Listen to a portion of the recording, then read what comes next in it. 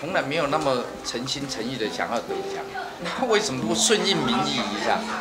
我要帮他争取一下，当然是也是他个人努力得来的。小鬼在的话，他一定是贤哥去啦，去啦，去啦，一定是这样。对呀、所以我们就怀念他。那这个是一个电视人的一个最重要的一个颁奖礼，我相信他也会希望你过来。恭喜好几杯。恭喜二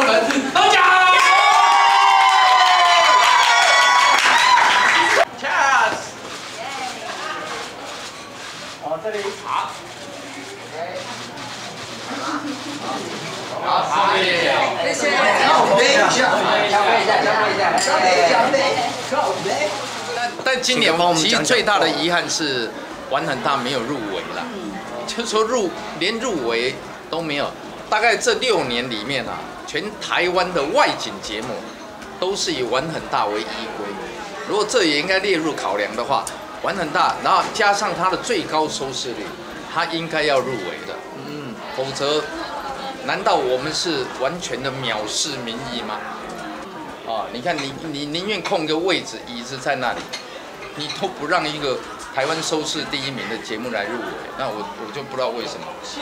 对啊，因为我们那个玩很大，还有小鬼的作品大概十集吧，应该有十集吧。所以明年要从来没有那么诚心诚意的想要得奖，但那个节目得奖，应该没有半个人会跳出来，这个节目不应该得奖，不可能嘛。那为什么不顺应民意一下？我要帮他争取一下，当然是也是他个人努力得来的。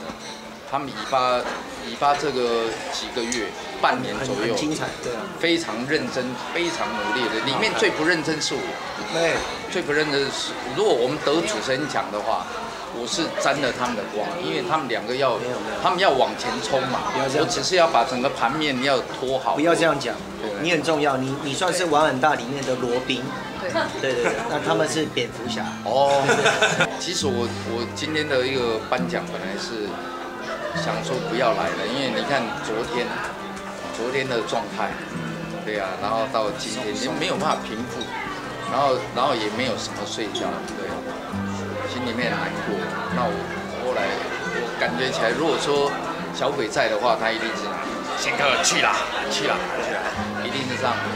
对呀、所以我们就怀念他。那这个是一个电视人的一个最重要的一个颁奖礼，我相信他也会希望能过来。